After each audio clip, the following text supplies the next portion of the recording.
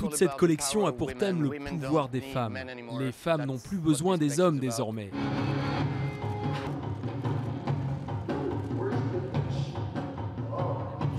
Elle est fière d'elle, fière de son corps, fière de sa réussite. C'est un mélange entre Marlène Dietrich, l'ambiance des années 40 et l'attitude incroyable des rockstars. Quand Marlène Dietrich a joué pour les GIs durant la Seconde Guerre mondiale, elle portait quelque chose de très féminin et sexy. Et ensuite, elle a emprunté un blouson d'aviateur et un béret. Et ce mélange m'a beaucoup enthousiasmé. Très macho et très féminin à la fois.